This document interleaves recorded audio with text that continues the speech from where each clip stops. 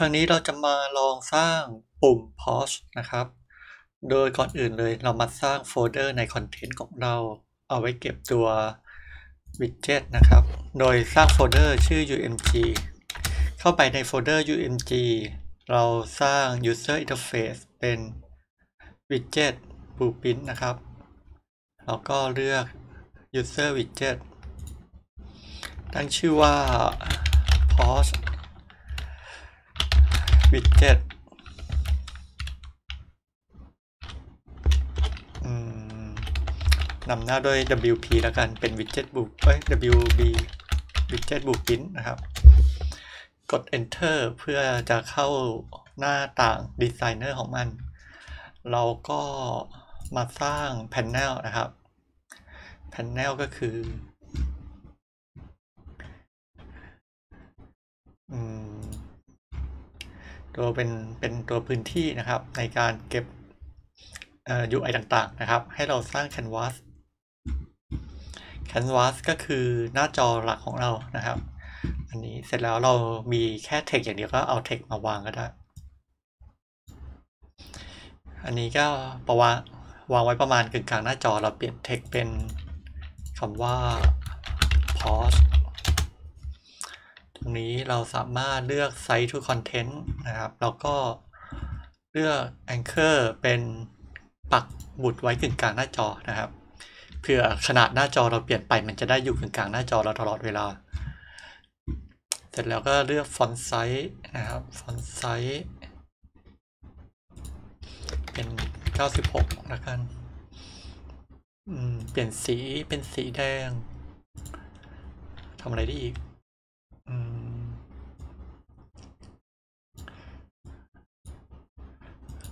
ขยับมาให้อยู่แถวๆกึ่งกลางหน้าจอหน่อย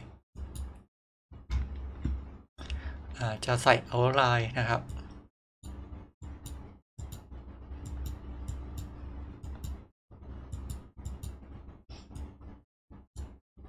ตรงนี้ขยับโดยการใช้ลูกศรที่คีย์บอร์ดก็ได้นะครับ ลองเปลี่ยนสี outline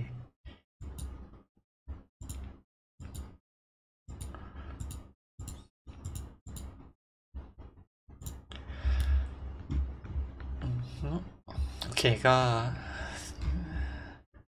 เสร็จแล้วกด compile แล้วก็ save นะครับ เสร็จแล้วเรามาที่ตัว blueprint ของตัว character นะครับ ไปที่ third person blueprint แล้วก็ตัว blueprint ของ character ของเรา ก็คือตัวนี้นั่นเอง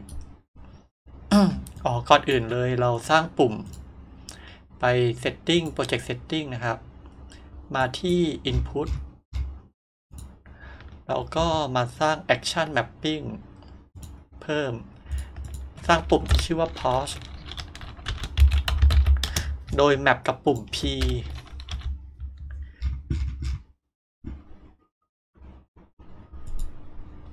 โอเคนะครับ แมปกับคีย์บอร์ดทุกปุ่ม P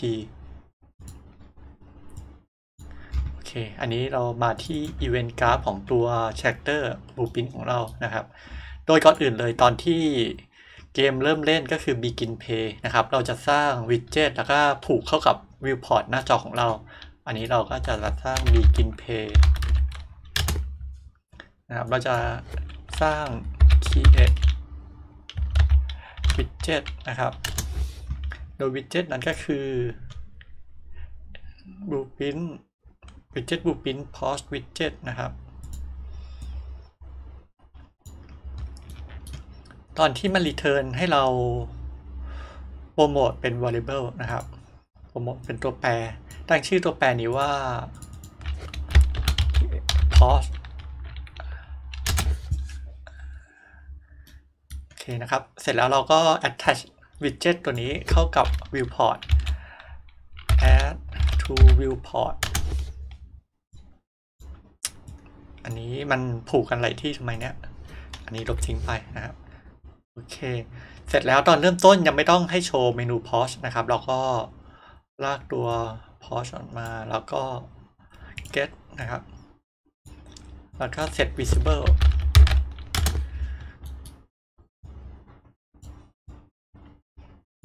นะครับ ตอนเริ่มต้นให้เป็น hidden ไว้ก่อน โอเค ตอนนี้ก็มี pause เกิดขึ้นแต่ว่าถูก hidden ไว้ เสร็จแล้วถ้าเรากดเอ่อ input เอ้ย ไม่ใช่ event pause action event pause นะครับ ถ้าเรากด pause ให้เราเอ่อ flip flop นะครับ สลับ flip flop ก็คือสลับโดยการกดครั้งแรกเราจะให้ตัว pause นี้ set visibility เป็น visible นะครับ กดครั้งกดครั้งแรกคือให้เป็น visible แล้วก็ set visibility กดครั้งที่สองก็ให้เป็น hidden นะครับ เดี๋ยวเราลอง compile save มาเพย์ดู กด P ก็จะมี pause เกิดขึ้นที่กลางหน้าจอนะครับ ถ้าเรากด P อีกรอบหนึ่งก็จะหายไปนะครับ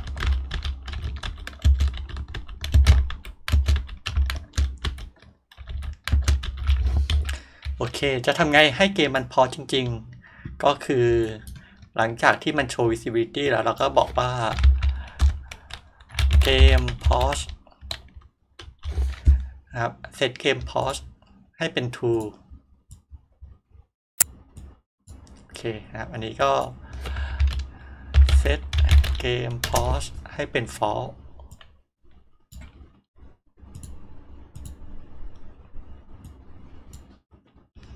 เคลองเพย์ดูกด P นะครับก็จะ pause กด P อีกรอบอ้าวไม่เวิร์กฮะนะครับ เนื่องจากว่าพอเรา pause เกมแล้วมันก็เลยไม่รับ input นะครับ ไม่รับกดการกด P ครั้งแรกทำให้ pause แต่ว่าพอกด P อีกครั้งหนึ่งเพราะเนื่องจากว่ามันอยู่ในสถานะ pause มันเลยไม่รับ input ตัวนี้ วิธีที่จะทำให้มันรับ input หลังจากที่เรา pause ไปแล้วก็คือมาที่ตัวนี้ที่ input action pause ให้มาเลือก execute when pause ด้วยนะครับ ให้เป็น true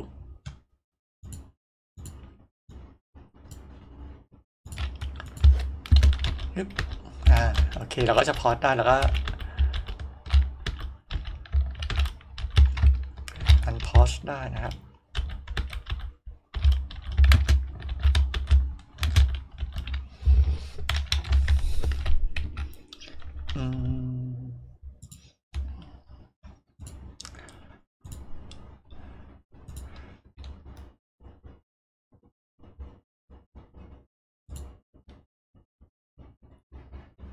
อื